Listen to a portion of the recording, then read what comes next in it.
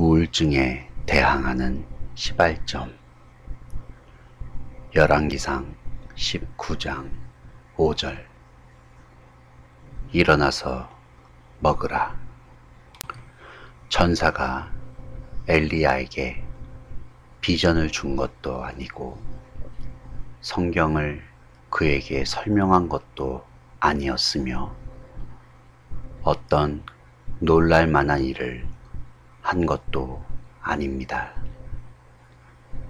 천사는 엘리야에게 가장 일상적인 일, 즉, 일어나서 먹으라고 말하였습니다.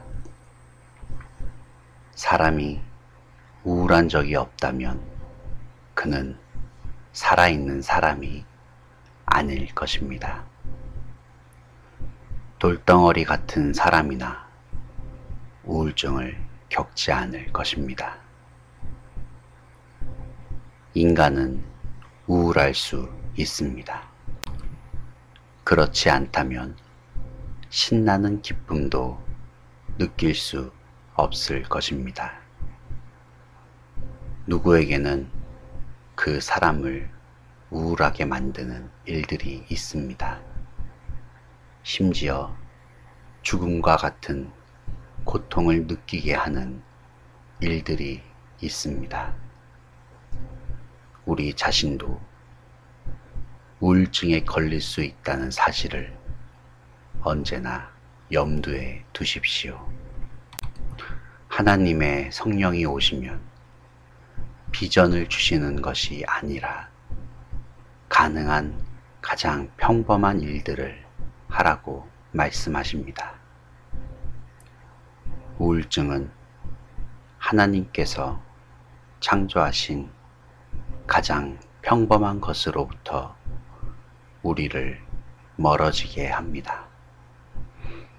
그러나 하나님의 영감이 우리에게 임하면 우리는 가장 간단하고 평범한 일을 하게 됩니다. 정말 그러한 일들 속에 하나님께서 계실 수 있는가 하고 의아해 하던 그러한 평범한 일들 말입니다. 그런데 그러한 평범한 일을 할 때 우리는 그곳에서 하나님을 발견하게 됩니다. 이때 임하게 되는 영감은 우리의 우울증을 제거하는 시발점이 됩니다.